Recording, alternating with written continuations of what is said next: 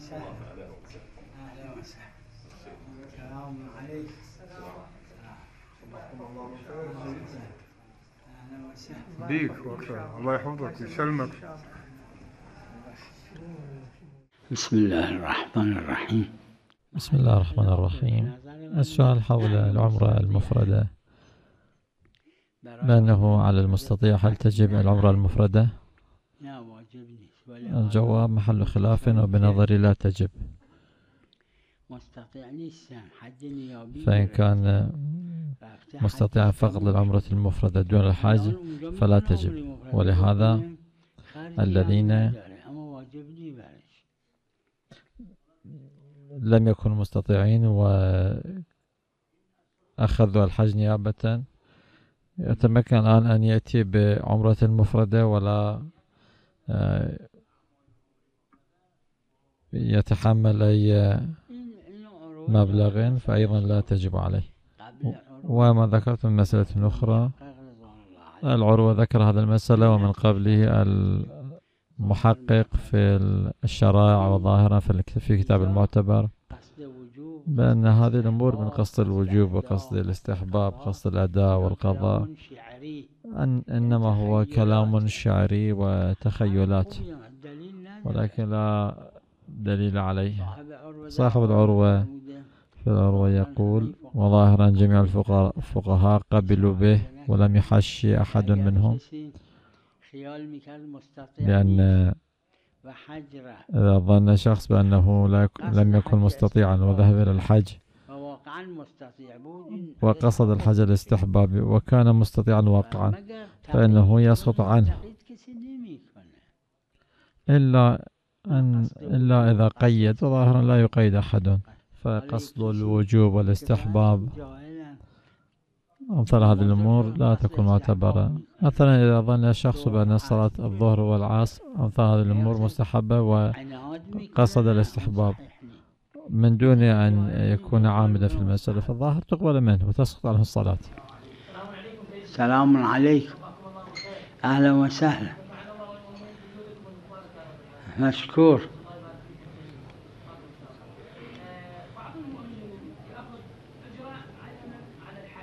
إي. إي. ولكن في نفس الوقت هو ما مد الحج هو الحج واجب عليه لعدم الاستطاعة عنده مهدية أو غيرها ها لم يؤدي الحج هذا يستطيع أن يؤدي الحج ما يخالف ما يخالف. إذا مو مستطيع هو للحاج لا شك يؤدي الحج النيابي. إشكال ما بي. السؤال عن شخص عقد بالعقد الم- المنقطع وبعد انتهاء ال- الزمان كان لهذه ال- المرأة ابنة وبعد الانتهاء هل يتمكن أن يعقد على هذه البنت؟ الجواب لا. إذا دخل بها فلا يتمكن أن يعقد عليها وربائبكم اللاتي في حجوركم في القرآن من النساء التي دخلتم بهن. في العقد الدائم والمنقطع من هذه الجهة لا اختلاف فيها. من هذه الجهة لا فرق بينهما بين العقد الدائم والمنقطع. الظاهر المسألة إجماعية. أيام ظاهرا هسه مسألة السؤال على أنه قبل الدخول هل يصدق عليها أنها لا تكون ربيبة أو أنها ربيبة. الجواب؟ الجواب وربائبكم اللاتي في حجوركم النساء التي دخلتم بهن. فإن لم تكن دخلتم بهن فلا جناح عليكم. عقد على امرأة على أم ولم يدخل بها. مثلا ماتت أو طلقها. يتمكن أن يتزوج بابنتها. لأنه لم يكن. قد حلت له لا. تكون المحارم السؤال من كان يقرأ مدة مديدة سبحان الله مرة واحدة في الركوع وفي السجود وبعد مدة علم بأنه كان خطأ يجب أن يقضي صلاته الجواب لا تعد يأخذ المقام. والفرض. وقال على حتى قالوا بأن حتى إن كان جاهلا مقصرا. المرحوم الوالد كان ينقل على الميرزا محمد تقي الشيرازي بأنه إذا لم يكن يقينيا فلا تعاد آه، لقوة ظهورها. كنا نقول أنه يشمل فرض العامد أيضا. فالجاهل حتى إن كان مقصرا في جهله فصلاته لا تحتاج إلى إعادة.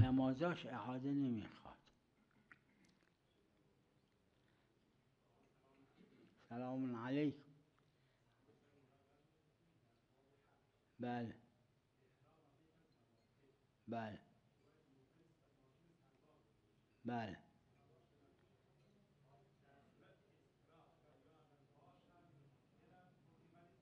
بله السؤال حول أحد المواقيت في الحج بله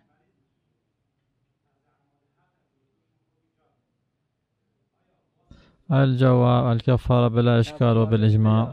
وبالإجماع. إن لم يكن له. نداره فيكون ما لا يطاق. أما الكفارة بالنسبة لمورد الضرورة. فإن لم يكن هناك ضرورة فيحرم.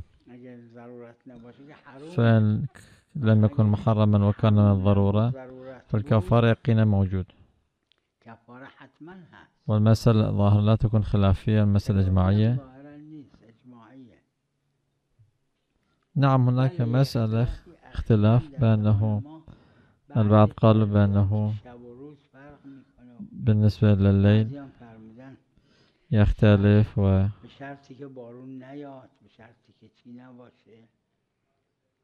ظاهرا السؤال قبل عدة أيام طرحت مسألة. سلام یه بالنسبة. إلى من افترض مالا وذهب أراد أن يذهب إلى الحج مم. أنه يقال له أنه عرف المستطيع ويكون مالكا ولكن الفقهاء يقولون بأن هذه الاستطاعة لا تكون مورد ملاك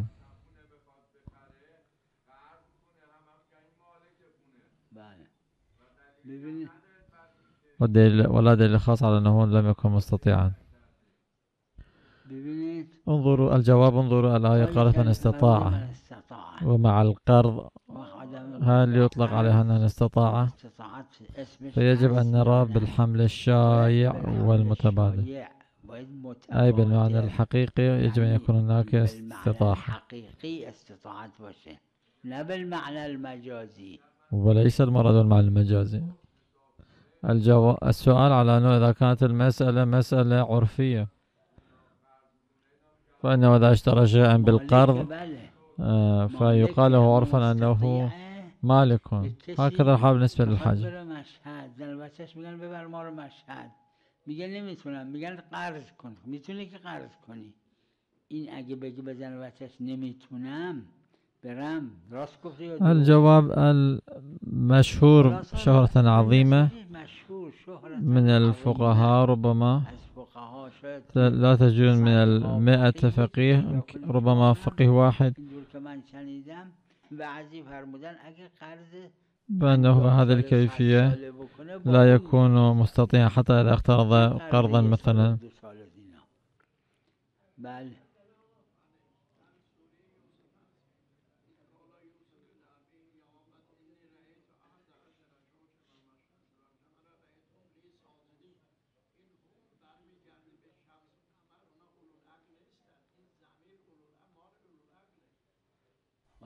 السؤال حول رأيتهم لي ساجدين رأيتهم در باب ششم مغنی هفتم الجواب انظروا في باب الباب.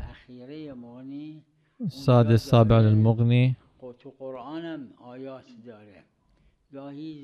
هناك آيات. تارة. لذوي العقول وغير ذوي العقول. يعبر برای نقل معناست به الفاظ. وقد ذكرت مرة بأن اللغات. والألفاظ لنقل المعنى أما اللغة العربية أكثر من هذا. ولهذا في القرآن الكريم على ما ببالي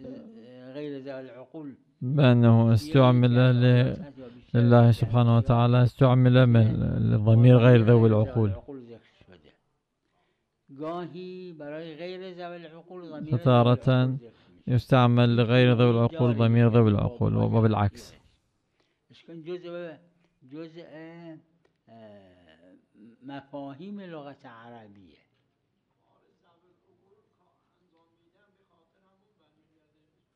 وعلى ما ببالي في بعض الموارد يقول للتعظيم.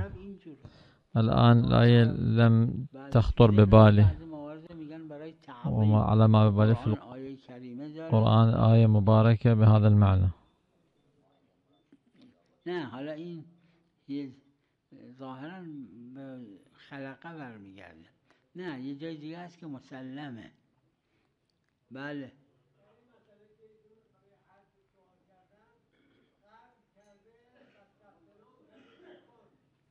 السؤال بالنسبة للحج أيضا اقترض وسجل اسمه لأداء الحج.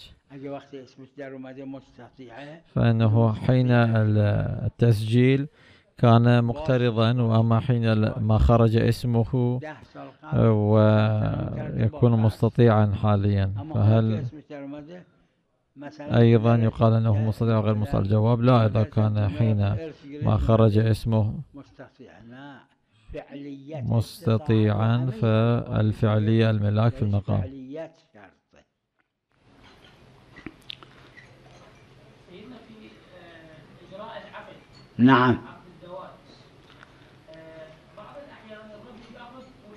المرأة اي في إجراء العقد نعم.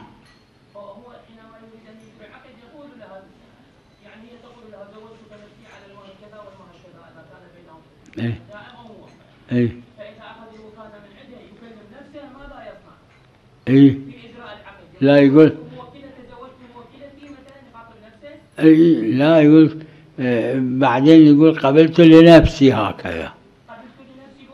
بين لا إجراء العقد. يقول زوجت موكلتي لنفسي كذا. بعدين هو يقول قبلته خلاص. أول أول يجري عقدين يعني يصير يصير يعني الكلام يعني مثل عن المرأة وعن النفس. نعم نعم مو نفس الجهاز. نعم جزاكم الله خير. سلام السؤال حول التقدم والتأخر. بالنسبة إلى استغفر ذنبي كما تقدم وتأخر. الجواب التفسير في الروايات. الذنب هنا ليس والذنب الذي يكون معصية بل ما يحسبه الناس على النبي ذنبا.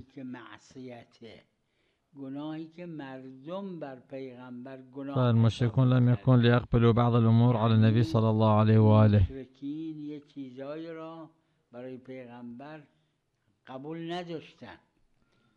فيا رسول الله استغفر لما يراه القوم ذنباً.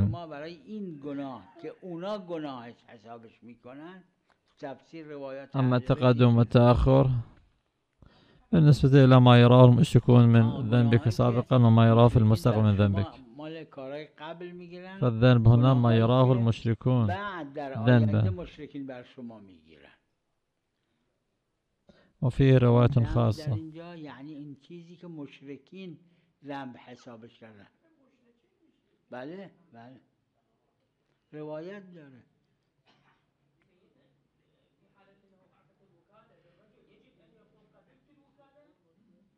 لا. هو القبول العملي قبول. بله السؤال هناك رواية على أن النبي صلى الله عليه وآله يخاطب أمير المؤمنين بأن أن الله حملني ذنوب شيعتك ثم غفرها لي في تفسير هذه الآية. ليغفر لك الله ما تقدم من ذنبك وما تأخر. فأن يكون المراد هو الذنوب ال- الاعتيادية. الجواب هنا هذا هذا هو تفسير الآية لأنه خلاف الظاهر. چون خلاف ظاهره. هكذا الحال بالنسبة للإمام موسى بن جعفر عليه السلام بعض الروايات وردت في هذا المعنى. امام موسی بن جعفر هم علیه السلام چند تا روایت هست نعم. سؤال بكل التوضيح نعم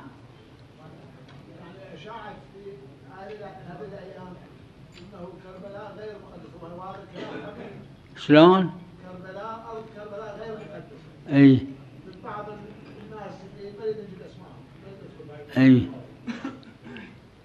ومع الاسف هم يعني لابسين عمايل أي فانا علقت بما ان النبي محمد صلى الله عليه وسلم قال حسين بنتي وين أنا الحسين؟ اذا الحسين من محمد جسدا وش- وشعورا أي بالتوضيح التوضيح في كتاب كامل الزيارات. هذا أحد كبار علمائنا اللي هو أستاذ الشيخ المفيد رضوان الله عليه. في كتابه هناك ناقل حديث في حاشية هذا الكتاب أنه لما خلق الله عز وجل أرض الكعبة اللي بعدين بنيت الكعبة على تلك الأرض ثم دحاها. يعني مثل العجين اللي يجروه الله جر من تحت الكعبة الأرض وصارت الكرة الأرضية ومنها أرض كربلاء. أرض الكعبة اللي بعدين بنيت الكعبة عليها هاي الأرض افتخرت بأنها أول ما خلق الله من الأرض فجاءها النداء جاء للأرض من الله عز وجل أسكتي. لو ما كنت كان قصدي أخلق كربلاء أصلا أنت ما خلقتيك هذه بالرواياكم ثم رواياكم أنه يوم القيامة الأرض الكربلاء أرض الأرض كلها الكرة الأرضية والأرض بعد ذلك دحاها. الله يطحن الأرض يطحنها. فقط قطعة كربلاء يرفعها إلى الجنة. أرض كربلاء في الحديث الشريف في نفس كامل الزيارات أنه ترفع إلى الجنة وتكون أفضل ترعة في الجنة. أفضل قطعة بالجنة أرض كربلاء. هاي الروايات موجودة عندنا السؤال حول الطلاق الذي يقع في بلاد الغرب هل يكون معتبر وحجة الجواب إذا كان طبق الموازين الشرعية بأنه كان هناك شاهدان عادلان المرأة لم تكن في عادتها الشهرية وأمثال هذه الأمور فلا إشكال من وقوع الطلاق. كل من كان المطلق. أو يجري صيغة الطلاق. أما يلزم أن تكون هناك الشروط متوفرة. وإذا مع عدم العلم بتوفر الشروط. فلا اعتبار في الطلاق الواقع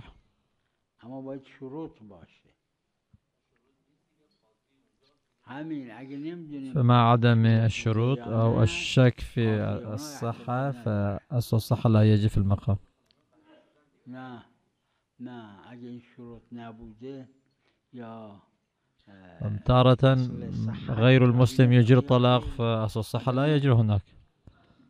فشرعا هذه المرأة زوجة ذلك الشخص الأول وإذا تزوجت مع طلاق شخص آخر. فيبطل العقد الثاني. أما إذا حصل هناك أولاد فالأولاد لا يكون شبهة أولاد حرام بل أولاد شبهة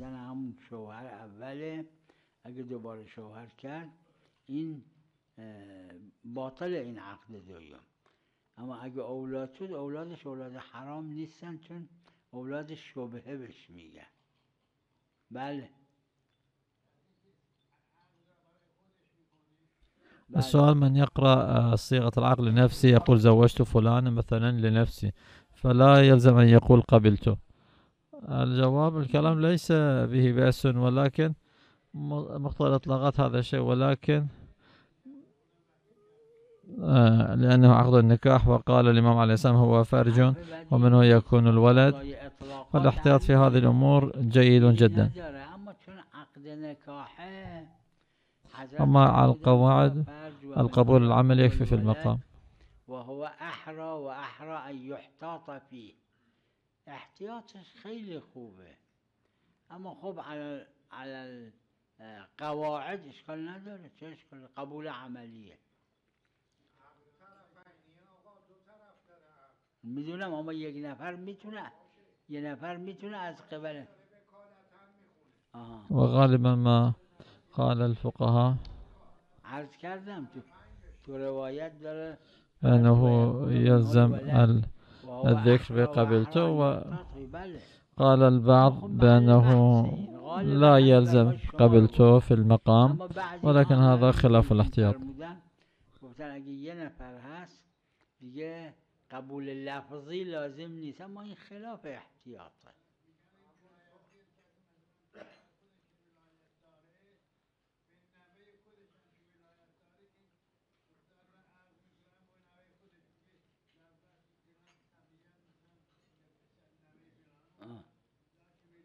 از نظر بحث علمی همینی که فرمودید. بعضی هم گفتن. السؤال حول فاخلع عليك إنك بالوادي المقدس. فهو أرض كربلاء بله. فهي أرض مقدسة إذن الجواب نعم هناك روايات في هذا المقام.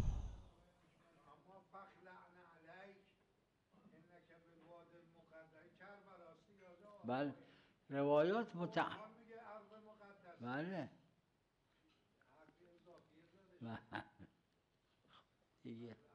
السؤال حول الأمر آه، أخذ العلو شرطا؟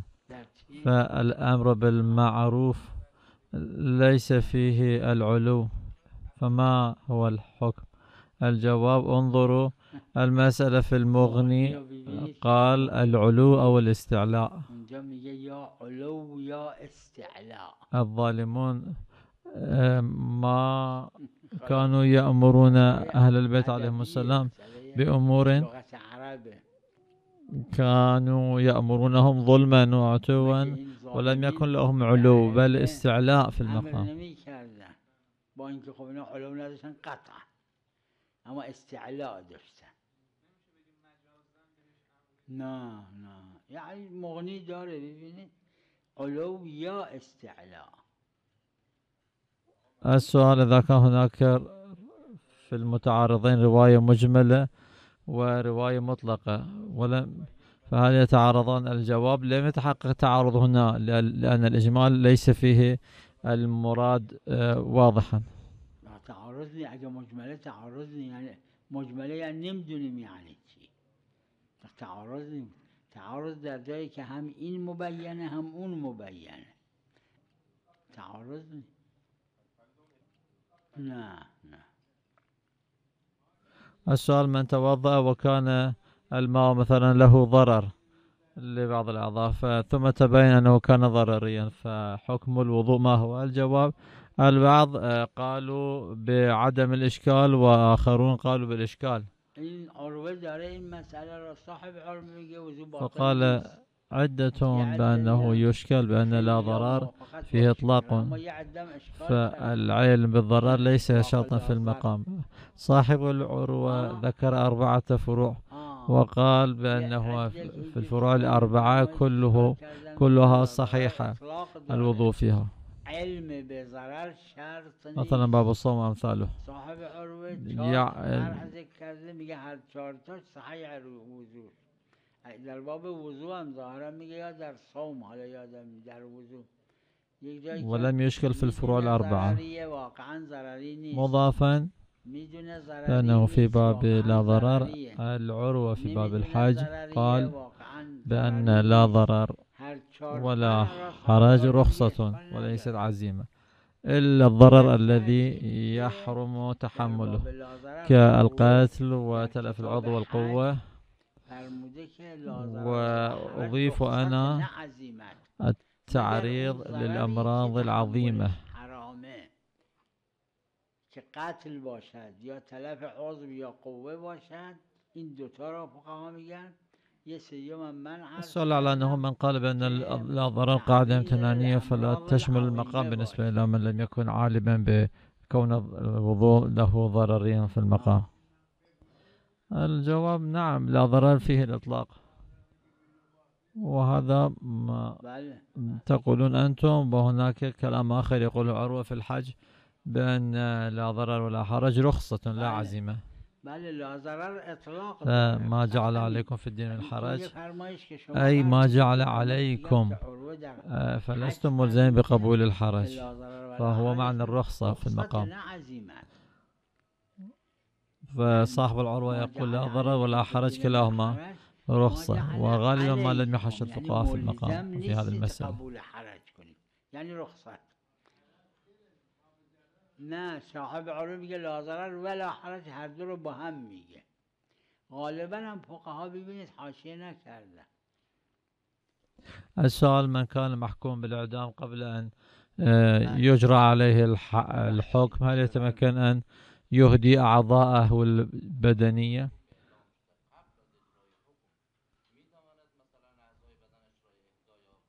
الجواب على أنه نعم يتمكن ولكن بعد الموت الحقيقي وثانيا آه، إهداء الأعضاء الداخلية للخارجية.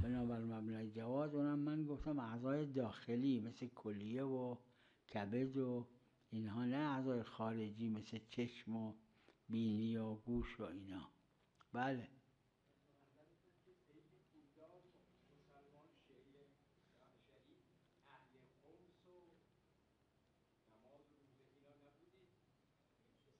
السؤال آه، هناك شخص والد أعطى لولده المال والولد يعلم بأن هذا المال لم يخمس.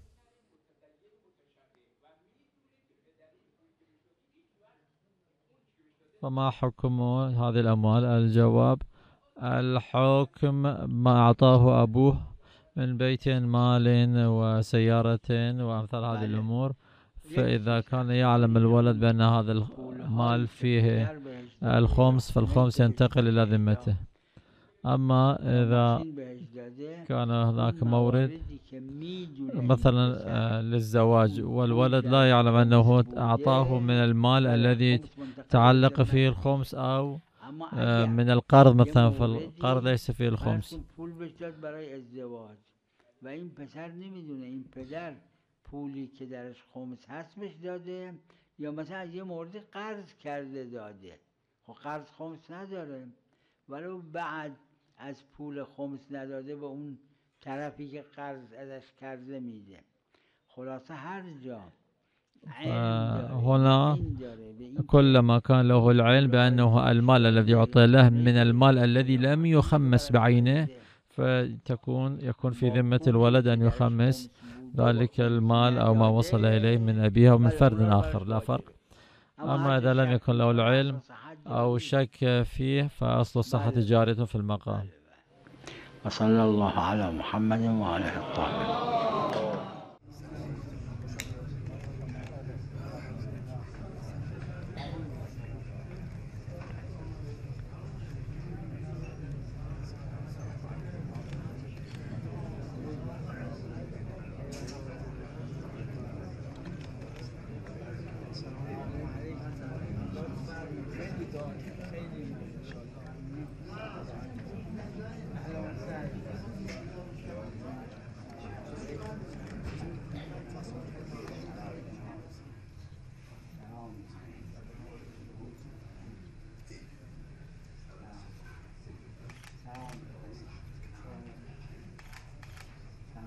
Denise?